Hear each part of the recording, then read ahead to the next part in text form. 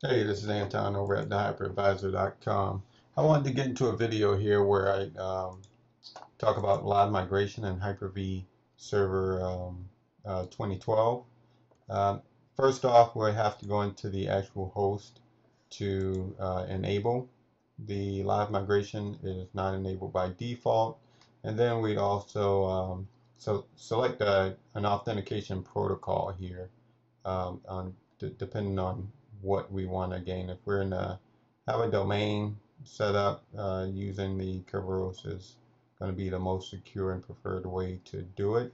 You can also set up uh, how many simultaneous live migrations that we choose. Uh, this here is pretty much unlimited, but uh, is um, depends on your your hardware setup or your your configuration of your networking. So you can change this. Just be aware that the data travels across the um, the network, and if you don't have enough bandwidth, that could bring bring the the Hyper-V host to the knees. Um, then the incoming live migrations, where you can choose a particular IP address that you configure in your networking setup that you use uh, solely for the uh, live migration. So once this piece is, is done and set up, we'll go ahead and try to do a live migration. So I've done that. I've done that setup on both nodes, as we can see here. We have it enabled and using Kerberos. And out of the box, I have these two nodes. Uh, there, there's nothing shared between them except the network.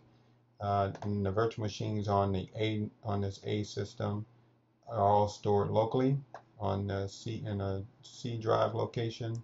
And the same for the B. There is a setup to to put all the virtual machines in a location here on the local hard disk.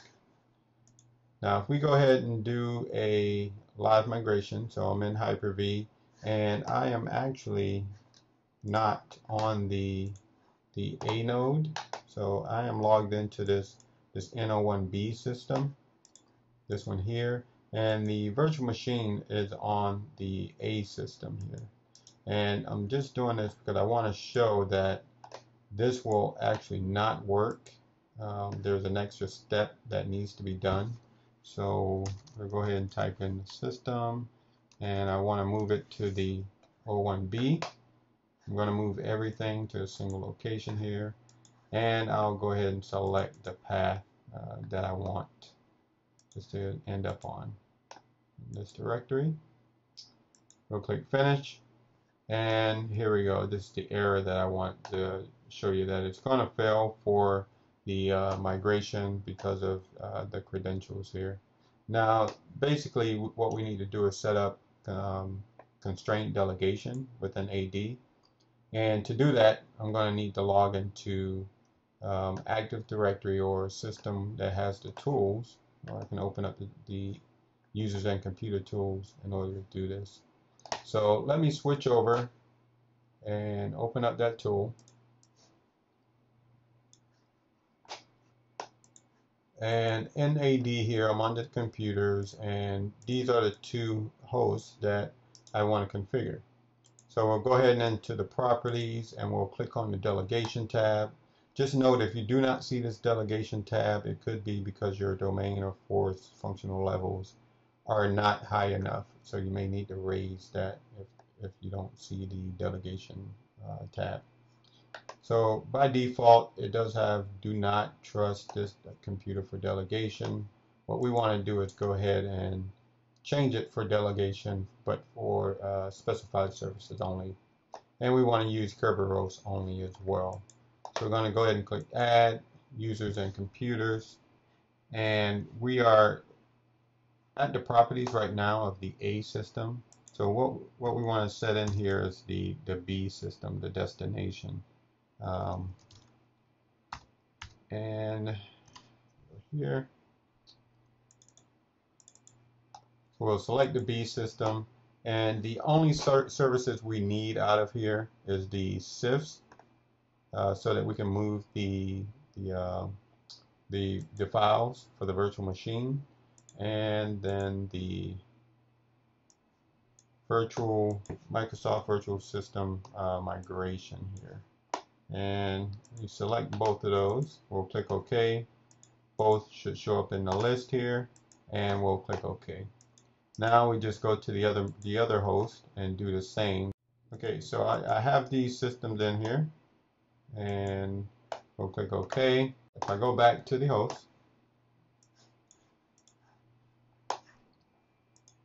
and what we want to do is run the same the, the same move or live migration here. Taking the defaults we'll put in the host again.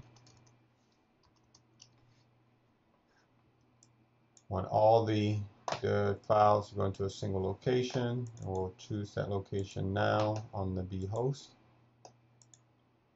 Click next and then finish uh, so you see we get the error once more. Um, I've noticed this does take a while to take effect.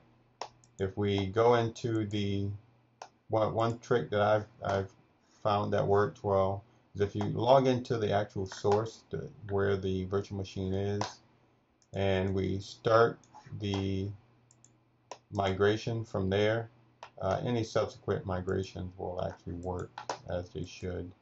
So let's go ahead and move this virtual machine from the source over to the B node.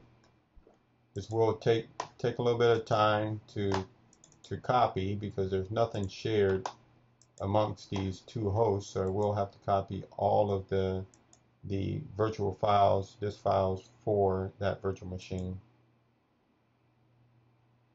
so we can see it's going it's performing the the move and we'll speed ahead so, uh, to the point where this is finished. Okay, looking at the A node here, or this, this NO1A host, we can see that the, the VM that I, I did the live migration on has moved. And if we look at the B node, we'll see that it's here. And since we are on the A node, um, what we can do is do the reverse of the test we were trying to do, where we're trying to move from um, being logged into the B and moving it from the A. But now we're logged into A and what we'll do is go ahead and try to move it from the B uh, just to show that this does work. Um, we'll go ahead and move and we're just going to do the same thing we did before but the opposite uh, using the the opposing host I should say.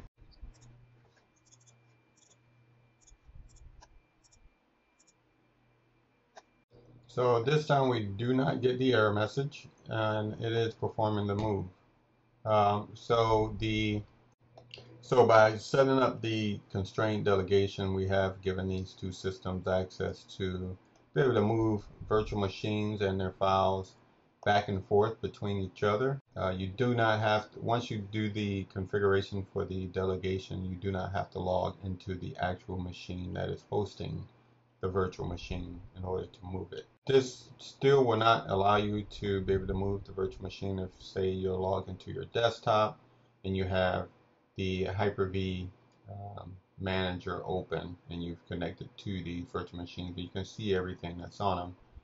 You would not have access to do the move from those systems because we we've only added the the A and the B systems to be able to um, for the delegation it's not that ideal in a, in a large environment, say where you will have uh, five, ten more systems uh, or host systems.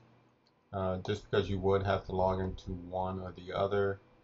I guess it's not too bad, but usually um, we're used to in the, just say from the VMware side of things, if we have VMware, we just have a local client installed, connect remotely to the vCenter server and we'd be able to copy and uh, migrate uh, vMotion things from one host to another.